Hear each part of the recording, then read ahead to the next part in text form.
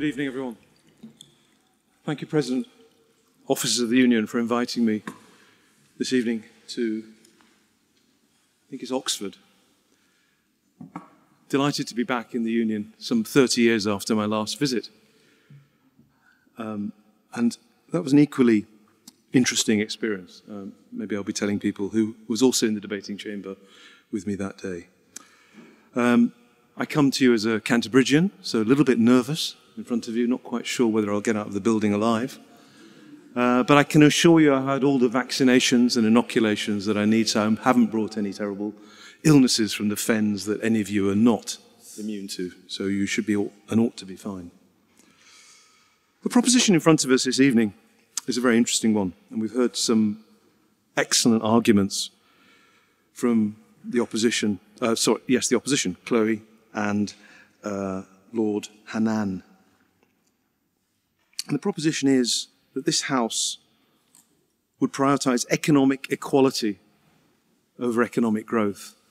And I'm going to ask you all to open your eyes when you vote later on today. Open your eyes and see what's going around you in this country. Ask yourself the question before you vote about what is the most important thing that we have to do as a country following the experiences that we have gone through in the last quarter of a century. I'll just ask you to think about that for a second, and then I'll go in to my main points. Of course, and we've been told this, growth is very important. Last month, I published a paper in the Economic History Review looking at GDP in the long run, in the longue durée. In 1700, the, in constant terms, the income per head in av- on average was 1,650 pounds in today's terms. In 2020, it was 30,000 pounds, a 17 fold increase. And the opposition would argue that that has generated better health, longevity, one of the most wonderful things that we have. We're able to see our, children, our parents as children and get to know them later on in life and understand the transfer of knowledge. It's the most important thing that we have in front of us in a way that previous generations have never been able to do. Law and order has improved over that long run. It's a much less violent society that we have in front of us than we had in the past. Democracy has developed, believe it or not. It has, it's moved on. We have more questioning of the democratic officials. We have institutions that are independent, providing scrutiny, the press, and even social media all play a very important role in transferring your views into decision making of policy. All of that sounds like a good thing. All of that sounds like something that we should want to have and that growth has delivered to us. Peace, apart from the horrendous invasion of Ukraine by Putin this time last year, the European continent benefited from peace throughout my lifetime. That, of course, is also something that we might say is a result of growth. Education, mass education, whether it's at universities or elsewhere, has also happened, we are told, as a function of growth. And yet, and also, actually, I've missed inequality. One of the great trends that we've seen in the 20th century was a reduction in wealth inequality and a reduction in income inequality. And the people opposite would tell us that that is a function of growth. But unfortunately, they've got it all the wrong way round. It's successive governments that have tackled these critical issues over time, whether it's the Great Reform Act of 1832, the agreements that we had after World War II to guarantee peace in our lifetime, the Beveridge Report that guaranteed full employment and education and the health service. These were the preconditions of economic growth.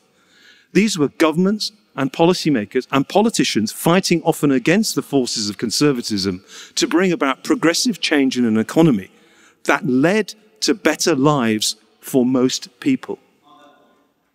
Why not?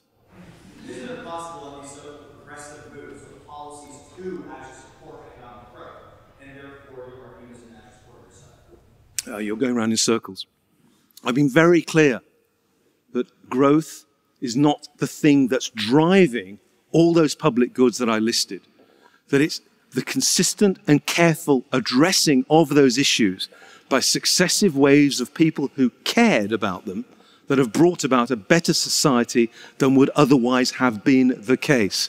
And that is the contention I want you to think about, not only today, but for the rest of your career and the rest of your life.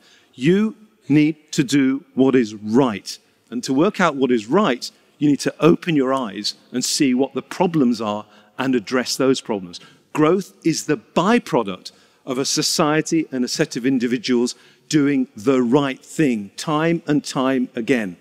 And that is where, in fact, I'm sorry to say, as a society, we have fallen down in the last quarter of a century. And that's the main reason why our economic growth has lagged that of our trading partners and um, has lagged our previous historical performance.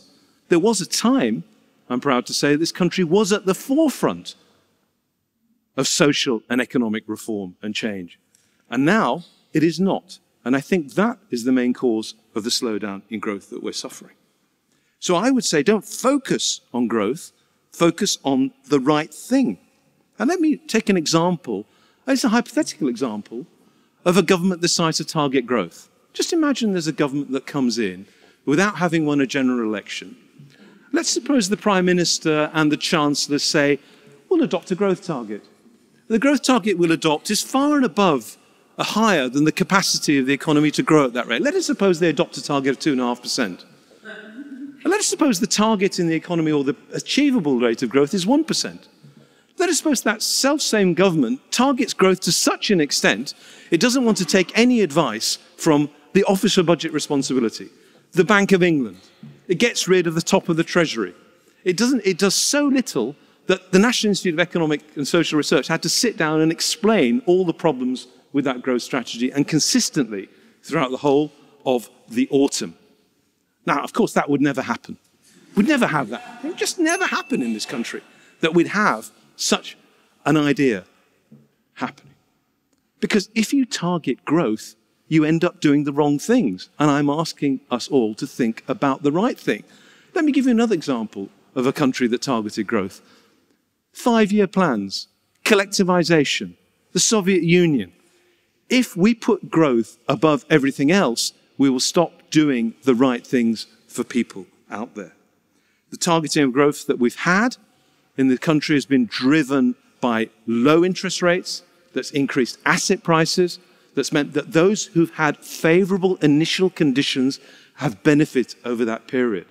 Those without those favorable initial conditions, and people in this room, I'm happy to say, you've already largely won. I'll come to you in just a second. You can keep standing, it's good for you.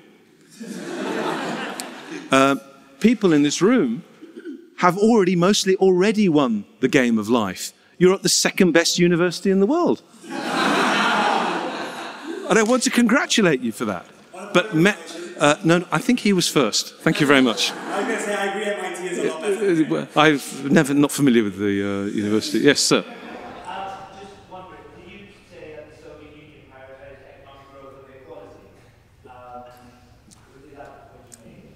five-year plans were all about economic growth and industrialization.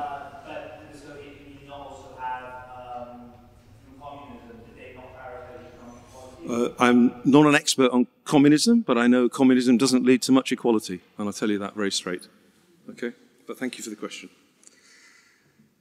What's happened with the economy that we've got, the growth that we've had has been through the City of London, high value services, uh, and asset prices that have gone up has made it a country in which those without those initial conditions have been forced to work in low productivity firms, retail, um, hotels, restaurants, where wages are low. And what we've had is the development of what we now can term the working poor, where both members of the household are going out to work, but they're still not earning enough to pay the bills. And we have a large fraction of society reliant on state aid. And that is a world in which I don't think we should consider to be acceptable. What we need the policymakers to focus on doing the right thing, create better jobs, with higher pay so that people who are doing the right thing by going out to work can meet their bills uh, in a way that allows them not to rely on state aid. The shocks that we've had in the last 13 or 14 years, the financial crisis, the uncertainty of our relationship with Europe, COVID, the increase in energy prices, have all had an undue and amplificatory impact on income inequality and on the income of those at the bottom of the ladder. That means society has become more vulnerable, more problematic for many people. We heard a few minutes ago about how warm and well fed we are all are. I'm afraid that's not the case for many people in this country. Food bank usage is at a post war high. Many people are unable to pay their food bills, all their heating bills, and there's a requirement for charity and for state aid to help them. This is not the position we should be in, as we were sold by the opposition, as the sixth richest economy in the world. I've been director of the National Institute for seven years in May, and I've opened my eyes to all the problems that I'm seeing as I go around the country that need to be addressed as a priority. It is a question of doing the right thing. And I finish, if I may, with the words of one of my heroes, Gil Scott Heron, who died 12 years ago in May, who was asked, if you can do something for someone, why not do it? And that's what he said just before he died. So I would say to you all, if you can help people who are suffering from inequality and an inability to meet their bills, why not help them? Thank you very much.